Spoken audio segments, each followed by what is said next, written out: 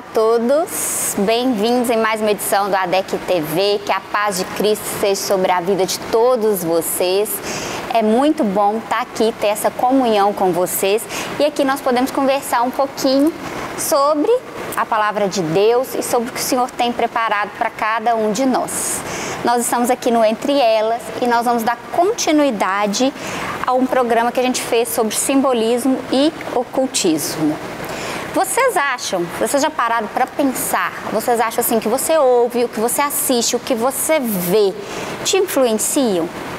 Isso, isso tem alguma influência na vida de vocês? Vocês já pararam para pensar? Outra coisa, vocês já repararam que conteúdos duvidosos na internet, eles nunca são bloqueados ou levam advertência? Pelo contrário, eles têm milhões de visualizações. E quando existem pessoas que falam sobre família, sobre os bons costumes, eles são simplesmente bloqueados, eles são advertidos, bloqueados.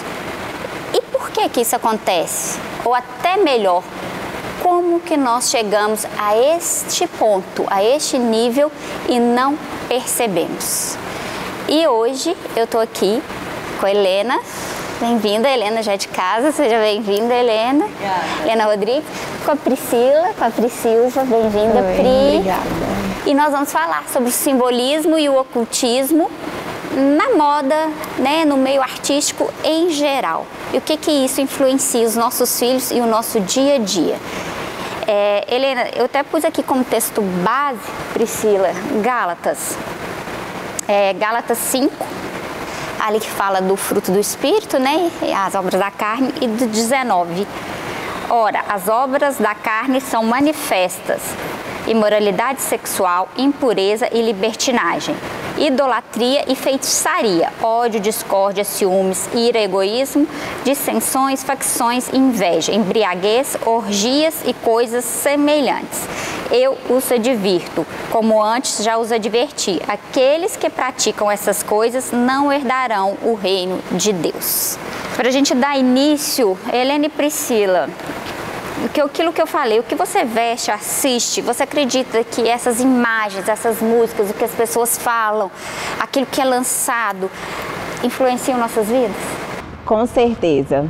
Eu acho que nós somos totalmente influenciáveis em tudo que está ao nosso redor tudo que a gente vê, tudo que a gente escuta, o ambiente em que a gente tem mais costume de frequentar, isso tudo sem dúvidas interfere. Interfere. E essas influências, Helena, são sempre boas? Nem sempre, né? No, no mundo atual nós vemos influências malignas mesmo. Tá, não está nem oculta mais não, Carol. Tá não, né? Eu acho que nem podemos falar ocultismo, já, já tá assim muito às claras, né? Então, muito visível, é, né? Há uma influência maligna no mundo atual. E para começar nesse assunto hoje, nós vamos falar do grotesco. Né, meninas? O que é o grotesco e se o grotesco e a feiura são a mesma coisa. E nós temos algumas imagens aqui do grotesco. Helena, o que é o grotesco? Bizarro Vamos dizer algo engraçado. Pega-se uma imagem normal, vamos dizer assim, natural, e transforma ela em algo engraçado, bem atrativo, que chama a atenção dos olhos de uma forma, vamos dizer, muito bizarra. E é a mesma coisa que a feiura? Por se tornar, para se tornar bizarro, tem que colocar algo feio.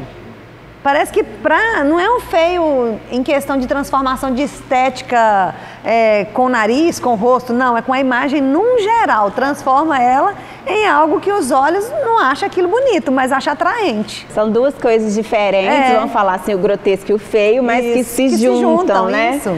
A gente pode falar que o grotesco eu li, se eu, torna feio. Se torna feio, né? O grotesco você pega duas coisas que não combinam, vamos falar assim, junta aquilo, faz aquela combinação e aquilo se torna feio. Bizarro. É, mesmo. bizarro. E a gente está falando disso, né, porque não é normal.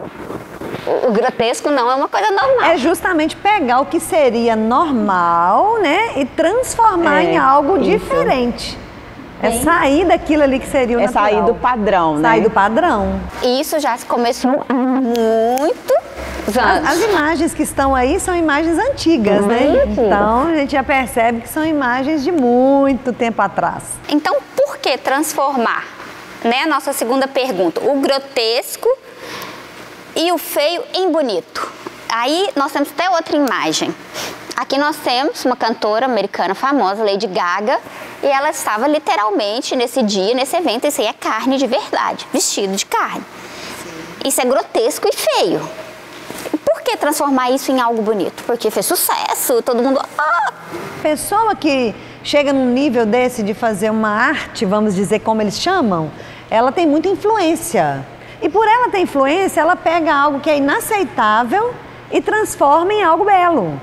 Porque no caso dela, por exemplo, ela fez isso em forma de protesto. Porque naquela época, quando ela fez essa imagem, não é uma imagem recente, é, os militares eles não poderiam assumir a sua homossexualidade. Então, em forma de protesto, para dizer que nós podemos fazer o que queremos, ela vestiu essa roupa em protesto para que eles pudessem sim expressar sua sexualidade. Mas isso não é nenhuma forma para mim de protesto. Isso, para mim. Mas se tornou um protesto pela, pela visualização pelo que contexto, deu, pelo contexto. Né? É uma coisa que vai chamar atenção. Chamou atenção para aquilo, pra atraiu os olhares, aqui, né? Aquilo. Atraiu os eu, olhares. eu penso, eu quero, E eu, eu faço. faço. Para ela é, É. assim, né? Vamos dizer que é aquela liberdade de fazer o que bem entender. É, eu posso usar esse monte de carne, né? E não veio quem é a favor da proteção dos animais, que matou um monte, não fala nada.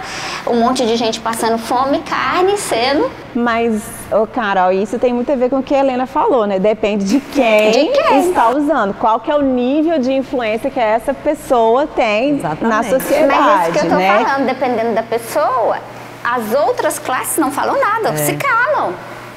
E acontece outra coisa muito menor e há aquele alvoroço. Um bombardeio, Um né? Talvez até menos importante, vamos falar, do que isso, e a coisa explode, né? Pega um tamanho. Então, isso é bizarro. É grotesco, né? Grotesco, muito. E feio. Tudo, isso é tudo bizarro, de isso é grotesco. feio, isso é grotesco, isso é estranho, isso é tudo. E quando a gente fala disso, né, como que isso foi infiltrando, né? Por que, que tem que transformar o grotesco em bonito? Como que isso foi infiltrando, Helena?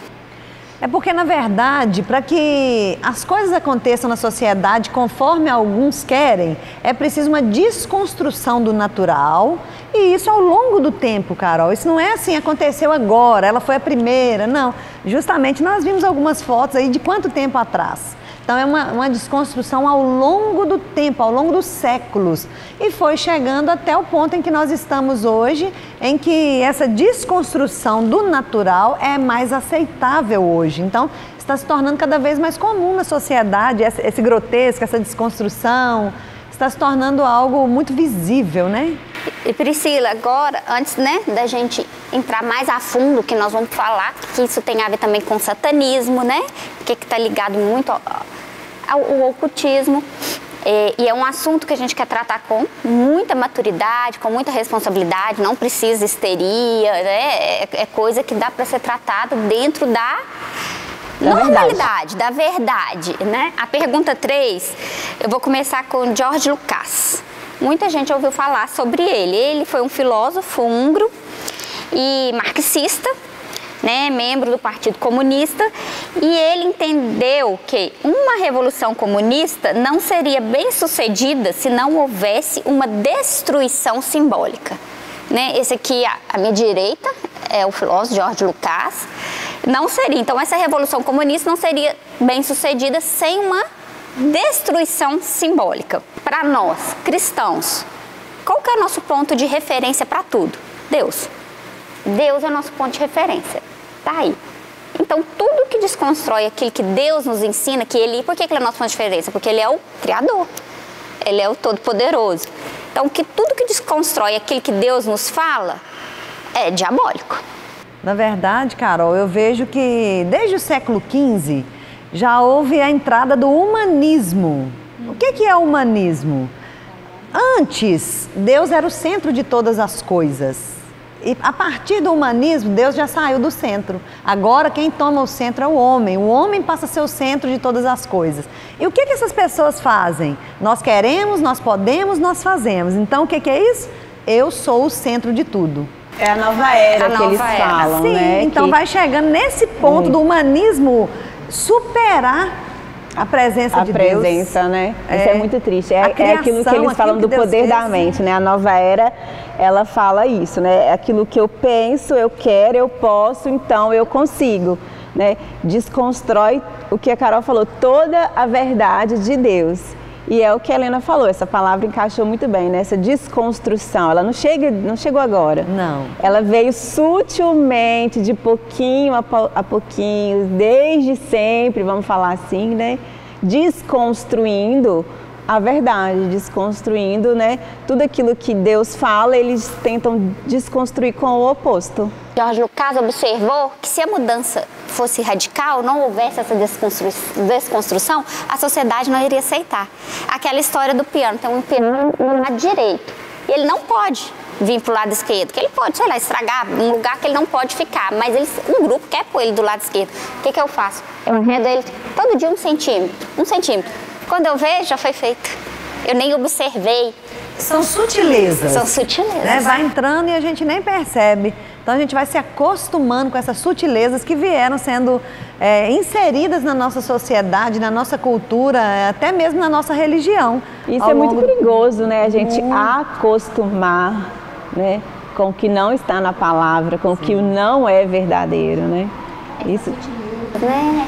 Hoje em dia as a pessoas, é, as pessoas estão normalizando o que não é normal. Isso, verdade. Normalizando, então não é normal. Deixa passar batido, É, né? Deixa passar, então nós não podemos encarar dessa forma, não. E você falou a palavra, sutil, sutileza. Sutil, de forma sutil. Isso, isso é de forma sutil, né? E aqui nós temos alguns exemplos.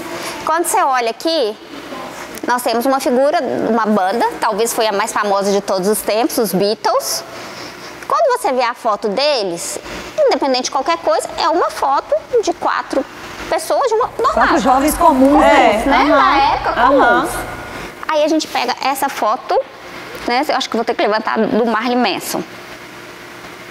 Olha, Totalmente um pouco desconstruído. depois do Beatle, totalmente Desconstruído. desconstruído.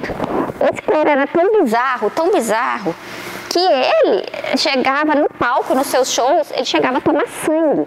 E aqui nós temos Madonna, Eu acho que ela sempre teve esse peso, né? Desconstruindo o evangelho toda a vida. desconstruindo, tão sutil, né? As pessoas achavam que ela era só polêmica, Poderosa, rebelde, né? Poderosa. Aham. Mas aí nós chegamos aos nossos tempos de hoje. Lady Gaga, vocês acham que essa roupa ela usou só porque estava de acordo lá com, com a estética do show? Tudo tem um significado. Essa roupa tem chifres. Tudo tá maquiado, Tudo né? tá maquiado. Ele vem de uma forma maquiada, né? É aquilo, você vai acostumando Vai. aos poucos. Você solta uma coisa muito drástica, bombástica, e causa aquela repercussão.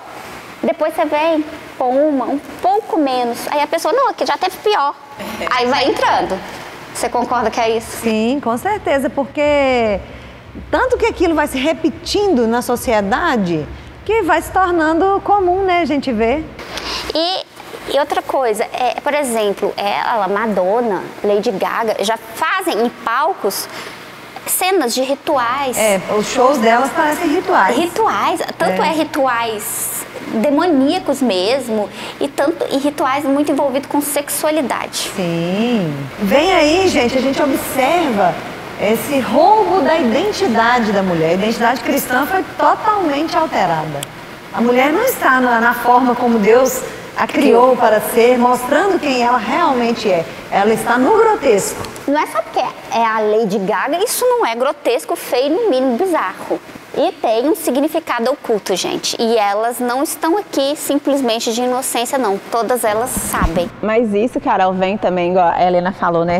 É, tem roubado a identidade da mulher, porque quando a gente para para pensar no lado sexual, né? Essa liberdade, né? Essa escolha de parceiro, esse poder fazer o que quiser na hora que quiser, isso acaba, quando a gente né, vai um pouquinho mais profundo, acaba afetando diretamente a família. Sim, a sociedade. A sociedade, né? A família é a base da sociedade. Então, quando a mulher é desconstruída na sua identidade, no que ela né, é, foi feita para ser, na sua essência, destrói a família. Destruindo a família, destrói a sociedade. Porque eles já sabem disso há muito tempo. O próprio diabo já sabe disso. Por que, que o Império Romano caiu?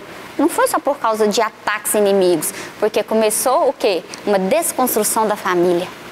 Começou de dentro para fora. Quando você estuda um pouco mais a história, você vê, né, esse ataque, vamos falar demoníaco mesmo, é não tem outro nome. É, é maligno, maligno, tem que né? ficar mascarado. Ele começa, é tudo voltado para a família.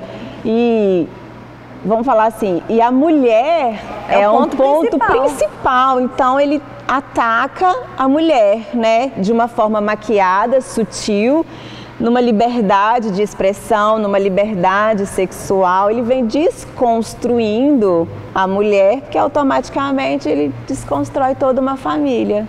Vocês já pensaram, Helena e Priscila, o que, que foi uma geração que Madonna influenciou e desdobrou a Lady Gaga, até chegar a Lady Gaga? Sim, ela foi influenciadora, né? Na verdade, as pessoas olham para ela e tem Madonna como uma referência, referência de mulher né? poderosa, empoderada. Ela é uma Dona influenciadora si, do né? mal. Livre. Livre. É. E ela é uma influenciadora do mal. Pelo que nós vemos, vimos e vemos até hoje, não é nada bom essa influência. Por isso, dessa sutileza. Mas a gente ainda está falando de artistas fora do país e dos nacionais, né? É, e aqui no Brasil, como que está esse movimento? Aí eu quero mostrar uma imagem para vocês. Tô chegando com força total. não perde, não. Olha essa imagem, Helena, Priscila. É. Quem é essa? Luísa Sonza, né? Luísa Sonza. Chocante, né? Acho que isso é uma, uma foto de uma capa de um disco é, com essa língua verdade, de cachorro. Ela, ela foi fazer o seu álbum, né? E o, o a letra da música, ela se compara com uma cachorra e ela é uma cachorra de grande porte, com uma coleira cara, perfumes caros para atrair pelo cheiro o macho. E nisso ela convida as cachorrinhas para ir para o pet shop, que são as amigas. Eu fico pensando como pode as mulheres aceitar essa decadência moral na vida delas. É uma decadência. Cantar e dançar isso. Cantar, dançar, aplaudir, achar ela poderosa porque ela faz o que quer. Então ela veio com essa língua de cachorro é, nesse, nesse álbum, né? As pessoas até criticaram muito isso, mas colocando a mulher como uma cachorra, ou seja, desconstruindo mais uma vez a identidade de auxiliadora da mulher e de filha de Deus. Muito triste, é né? É muito triste. Essa menina chegou assim a um nível, Priscila, que a gente chega a ficar com dó. E de é, família cristã. Sim. Começou a cantar na igreja, sabia, Helena? Sabia, Não, Helena? Começou, ela, o início da carreira dela foi em igreja, família cristã. A maioria delas, né, é. gente? Começa na igreja, Tem né? no YouTube. E nós Mostra vamos ver o seu talento na igreja e depois o mundo atrai e vão pra lá. Ela tá numa capa não sei se é da Rolling Stones, uma capa de revista que ela tá, né, praticamente nua e, e, toda a capa de vermelho, como se tivesse um pano sugando ela. A capa quer dizer o quê? Como se o inferno tivesse, abraçasse, abraçasse ela. ela. É, eu já vi. Você já deixa de ser verdade, né? Pela situação que elas. E a, e a intenção da capa é isso mesmo, é, o inferno que abraça é ela. É mostrar mesmo, é. né? É ela, ela envolveu tanto, talvez no começo ela não sabia. Eu acho que agora ela nem sabe como sair. É nesse abraço mundo oculto. oculto. Abraço uhum. oculto, que é. simboliza essa imagem. As pessoas ao redor dela. Aí a gente tem também outro exemplo, que é um exemplo de sexualização, de demônio puro. Anitta, você vê crianças dançando Anitta, até Luísa Sonza. O que mais me impressiona é nem as crianças, os pais permitirem isso. Isso. Mas eu acho que a, a cegueira tá assim em um nível não percebeu o nível não que aquela mulher tem de sexualidade. E eles mesmos estimulam, né, os próprios filhos a estar tá escutando, a estar tá dançando. Tinha até um desenho, gente, infantil da Anitta. Acho que a Anitinha tinha um desenho infantil da Anitta e das suas amigas, mais ou menos naquele nível dela mesmo. Verdade. Até os desenhos animados estão sendo desconstruídos. Até os desenhos. E nós vamos falar disso no próximo programa de séries e desenhos animados. É, eu vou dar um breve intervalo, daqui a pouco a gente volta e nós vamos voltar exatamente com isso que a Helena falou, essa imagem desconstruída da mulher.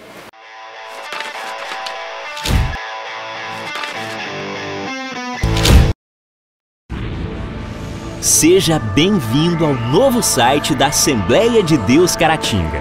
Agora ele está completo para você acompanhar bem de perto tudo sobre nossa igreja.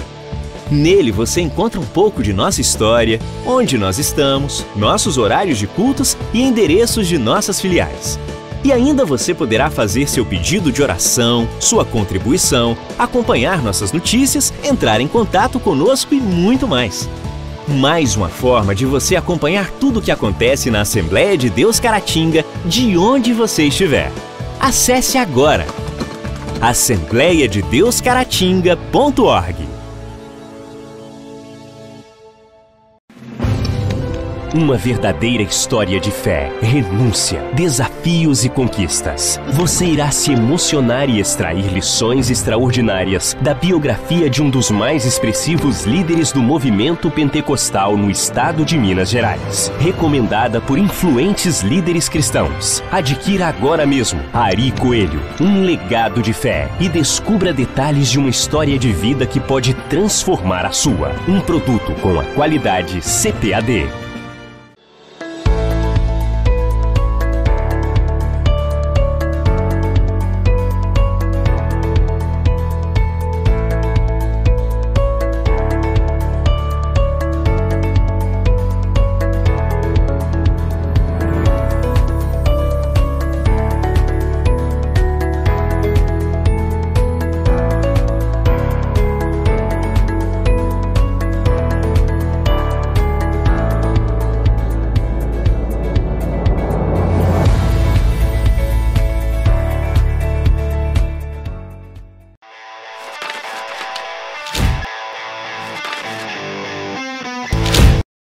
Voltamos no nosso segundo bloco. Nós estamos falando sobre simbolismo e ocultismo. Priscila e Helena, a gente terminou o primeiro bloco falando sobre essa desconstrução né, da identidade. Né? Ela também acontece no interior, mas também acontece no físico. É, eu tenho até exemplos aqui de duas. Vamos, a gente está usando pessoas famosas, que, né, que a gente pode usar a imagem Olha como que acontece com tanta sutileza. Essa era a Luísa Sonza, sem nenhum procedimento, quando ela ainda cantava louvor, Priscila. E aqui nós temos o humorista até onde ela foi. E Helena, mexer na estética é pecado? Então, eu acho que tudo que você faz com moderação, desde que não afete o que Deus fez, não, não, não é pecado. Mas quando você já passa para o lado grotesco, para o lado da desconstrução daquilo que é normal e natural, aí eu acho que já começa a afetar o templo do Espírito Santo, que é o corpo. É Porque a Bíblia diz isso, nós somos templo do Espírito Santo. Então, como que eu posso encarar isso, templo do Espírito Santo, e ficar fazendo mil reformas? Por quê? Porque eu não estou feliz com o que é o templo. Então, eu acredito que com moderação, com decência, não é pecado, mas quando o extremo começa a aparecer e você começa a já não querer ser quem é você, você não aceita aquilo que você é, eu acho que já começa a entrar pecado. E é isso exatamente que o diabo quer, Priscila, que ele não, até fisicamente que a gente. É. Ah, já tem um tempo que a gente estava conversando e você falou uma frase comigo que eu nunca esqueci.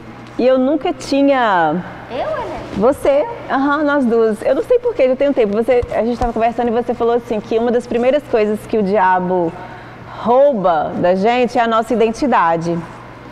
E aí a gente vê essas fotos, né? A gente começa a perceber e a entender que ele desconstrói tudo, inclusive a fisionomia da pessoa. Ele vem, né, de uma forma Torna sutil, a pessoa irreconhecível, uhum, né? Faz uma coisinha aqui, uma coisinha ali. Eu, talvez até a própria pessoa não perceba o que está acontecendo com ela, né? Porque ela, ela não se reconhece mais. Tudo tá ruim, né? É. E aí acontece o que a gente está vendo hoje em dia, né?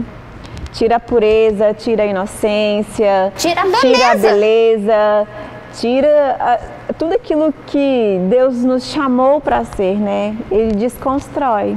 Nós vivemos na era midiática. Sim. Né? A era em que tudo é a mídia que determina. Então, eu começo a construir a minha imagem de acordo que é aceitável na mídia. Isso é muito e triste. É muito triste. Sabe por quê, Helena? Porque a gente é, pega, cria um padrão, é nos imposto um padrão, né? E a gente tenta se encaixar nesse padrão, não consegue, nunca vai conseguir. E isso gera o quê?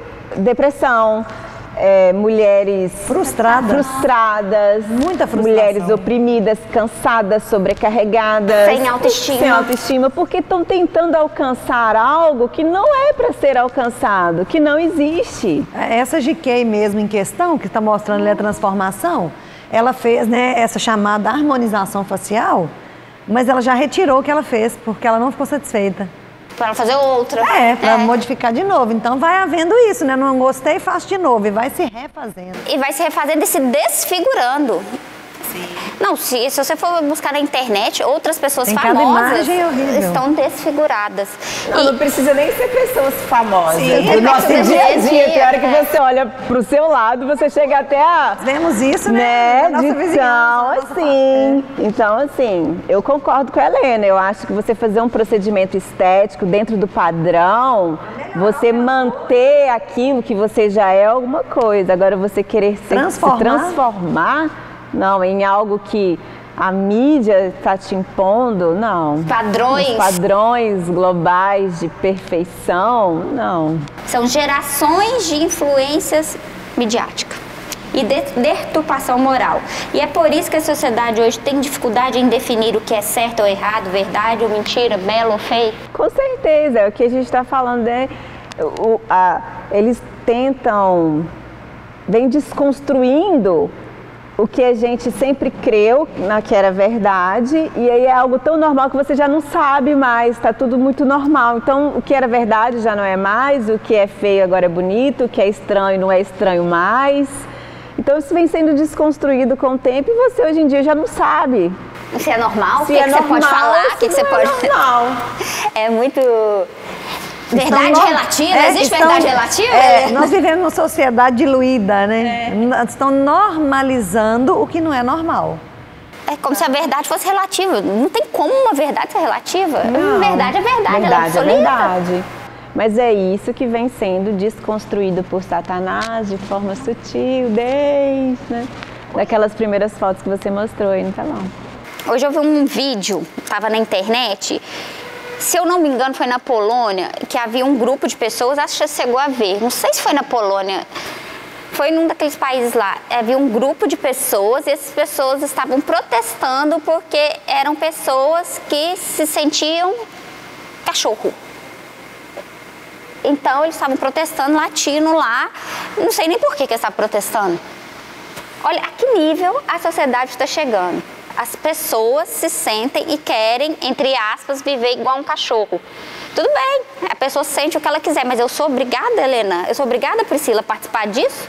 Não, mas é o que eles querem, Eles querem. É o que eles querem. Eles querem respeito, mas não respeitam a gente. Não respeitam a, Exatamente. a opinião, a nossa verdade, né? E é aquilo que a Helena falou no início, né? É o, é o poder da mente, né? Eu quero ser um cachorro, então a partir de agora eu vou andar de quatro e você põe uma coleira em mim. E me puxa né? aí. E me puxa e me guia, né? É colocar o homem no centro e tirar Deus do centro. E mães, pais, nós estamos falando tudo isso porque tudo isso tem uma linha de raciocínio. É a sutileza que vem sendo. E seus filhos estão vendo isso, porque as redes sociais estão aí, aparece a todo Desenhos, momento. eu tenho filhas pequenas, né, Carol?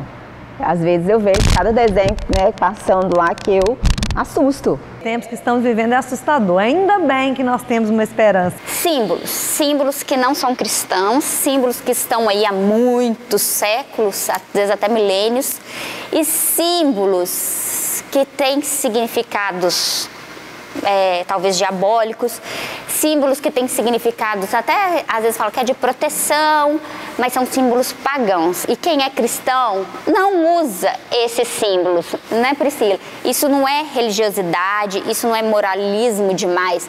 Porque a gente estava até vendo um vídeo, a moça falou assim: você come lá o franguinho se você vê uma encruzilhada? Não. Você não come, qualquer um não come. Jamais. Crente ou não crente não come. E não é porque pode estar sujo ou não, você não come aquilo.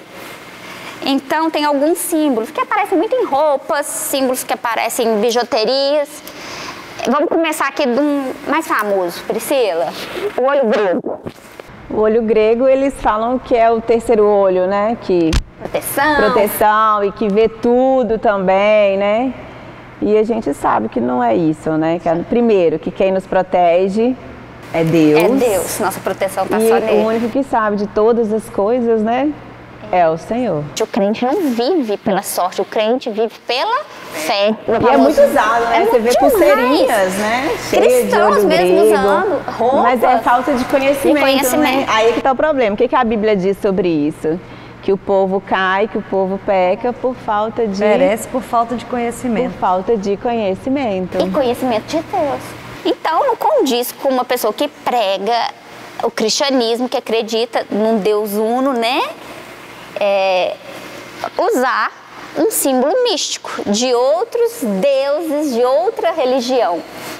Aí aqui nós temos, ai, a cobra. Né? O símbolo da cobra do mal. Ela tem, fala dois significados. A cobra, né? Fala do bem e do mal. Mal. É um símbolo muito vários. us- usado assim no Oriente, pelos chineses. Da saúde também, Pra né? saúde. Vamos falar. Para nós é o símbolo do, do, das, De da Satanás do que mesmo, entrou né? De terra. traição. de traição, falsidade. falsidade. É. E é isso, de, de veneno. Esse símbolo não está aqui porque é, isso já é uma parte mais complicada, que tem símbolos representados, não é uma cobra, é um símbolo que ele parece um triângulo, como se fosse uma cobra enrolada. Esse símbolo, o FBI, há pouco tempo, descobriu que esse símbolo representava uma máfia de pedofilia infantil nos Estados Unidos. Não posso nem falar o nome desse grupo, dessa máfia, mas utilizavam a estrutura de uma cobra. E aqui nós temos alguns símbolos.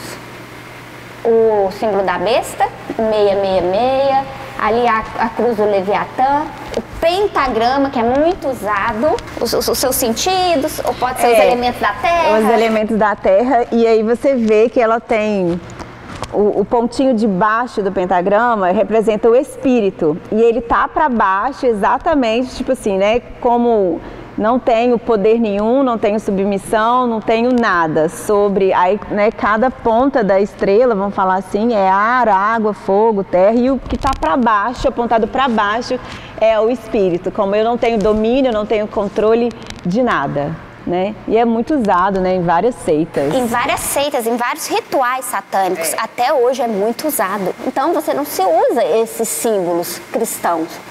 Cristãos não usam esses símbolos.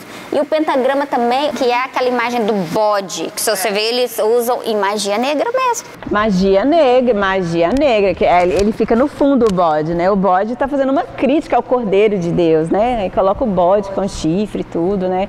É usado em rituais de magia negra, sacrifícios de crianças. De crianças, que até é hoje uma coisa, acontece. Até hoje acontece. É uma coisa horrorosa, tenebrosa.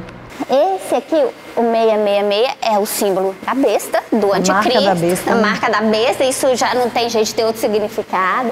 Não, cristão, impossível. Impossível. que- E esse, gente, é a cruz de Leviatã. Você não pode tatuar, se você é cristão, isso no corpo. Você não pode Engraçado usar. que muitas pessoas fazem tatuagens com esses símbolos. E eu conheço pessoas que se dizem cristãs que têm tatuagens simbólicas de outras religiões. Indianas, por exemplo, místicas. É, a- começa a se tornar um modismo tão grande. É um modismo. Essa cruz aqui, ela também é conhecida como cruz de enxofre, né? Referente a próprio Satanás. Do Leviatã, cruz de- do Satanás mesmo, de enxofre.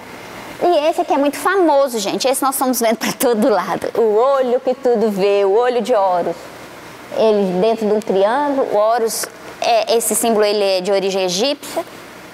Horus é filho do, deus é, Osíris com Ísis, né? É, eu vi que eu falei, gente, como que tudo é, remete para tirar Deus do centro, né? Quando a gente vai estudar esse Deus, ele é um Deus que eles acreditavam que ele era responsável pelo dia amanhecer, por haver a luz, isso pelo amanhecer. Por isso que ele é conhecido como ba- Deus Sol. ele travava uma batalha todo dia à Isso. noite com Sete, o deus das trevas. Então você vê, né, quem foi que fez a luz? Haja luz. Então você vê que tudo tenta tirar Deturpar a Deus verdade, do centro, né? é, detur- deturpar a verdade. E eles falam também, não sei se você viu, que é o olho de Satanás, né? Aí tem o olho, Satanás vê tudo, e é uma lágrima caindo, é como se Satanás estivesse chorando por aqueles que ele não tem o domínio ainda, né? É uma coisa tenebrosa. E é um olho só, porque É. um ele perdeu na luta. É, nessa luta que ele trava, um ele perdeu. E esse aqui, gente, esse símbolo também é muito usado. A gente vê pra todo lado. Muito, tem roupa, tatuagem, é, o boné, gente, boné igual, olho grego. Esse símbolo é o Yin, o Yin e o Yang. Eu achei interessante estar lendo sobre ele porque é a, é o- a ligação entre a luz e as trevas, entre o claro e o escuro, sabe? E aí, como assim? Se na palavra de Deus fala que quando a luz chega, as trevas têm que sair. Então não existe esse vínculo entre luz e trevas, né? Como esse símbolo ele, ele refere a um conjunto, uma ligação Entre o- entre o bem e o mal. É como se duas partes opostas Se juntassem. possam viver em paz. Em harmonia. Em harmonia. É, é tentando fazer a gente aceitar o inaceitável. O bem e o mal podem viver em harmonia. É inaceitável, né? A palavra de Deus combate isso. Então, eu não entendo, porque é, é- é a questão de não conhecer mesmo a palavra. De não porque cristão palavra. aceitar E o isso. que, que Paulo fala? Ai daqueles que chamam o bem de mal e o mal de bem. E quando Deus põe na palavra dele o ai, vocês podem, gente, ficar preocupados. O ai de Deus é ai, né? É, ai Ai ai daqueles daqueles. mesmo. Então, cristãos devem evitar esses símbolos. Com certeza, né? Isso daí é você tá Não deve nem evitar, deve anular. É, anular, né? Não é Você evitar, tá, não, anular. você sabe que não É é, pra quem inadmissível. é, você tá abri- convidando Satanás para entrar dentro da sua casa, abrindo a porta, né? É, já- não é brecha. brecha não, é a porta, vem. É. Tem aquele trem que pendura assim, apanhador de sonhos. Eu sei o que você tá falando, aqueles que fazem é indígena, né? É, que- assim, cuidado, gente, cuidado com aquilo. Às vezes tá tendo coisas na casa de vocês porque tem um símbolo que não Tem um condiz, fundamento, tem um né? fundamento. E tá cheio desses símbolos malignos usados aí, todos, alguns sutilmente, outros não. Então, o que, que, que cabe ao cristão? Estudar. A Bíblia toda condena o misticismo, a idolatria, né? Porque você colocando isso dentro da sua casa ou acreditando no misticismo, horóscopo, signos, né? Isso é uma idolatria. Deixa eu olhar o meu signo aqui, o que? Então assim, Cristão né? não e a Bíblia em tem signo. é, é Isaías, eu acho, Isaías né? Tem um versículo que 47. condena as pessoas que Astrologia. nisso, astrologia. Gente, astrologia não é astronomia. A Bíblia condena a astrologia. Então é bem, é bem, é, tá bem claro na Bíblia sobre isso. Cristão não E acredita. nós não precisamos disso, porque quem sabe o nosso amanhã é Deus. É, eu li você falando sobre isso, é, essa preocupação com o futuro é uma forma mística, é um, é um misticismo, você ficar ansioso pelo dia da E manhã. querendo saber o que vai ser, né? Só quem sabe é Pertence Deus, a a, Deus. Helena acabou de O falar. futuro o futuro pertence pertence a a Deus. Deus. Isso aí. Essa ansiedade, principalmente nós como os pais, né? Em saber o que, que vai acontecer com meu filho, tudo isso não é saber descansar no Senhor, É, né? Traz uma carga de peso muito Traz grande. uma carga de peso muito grande. Nós vamos dar continuidade no próximo programa, porque essas duas perguntas, uma é bem grande, nós vamos entrar numa coisa que aconteceu recentemente aí no mundo da moda e que impactou. E o, o propósito dela foi esse. Então, que Deus abençoe, né? Nós vamos voltar, né, com o próximo programa para dar encerramento aqui, nesse aqui. Fiquem com Deus.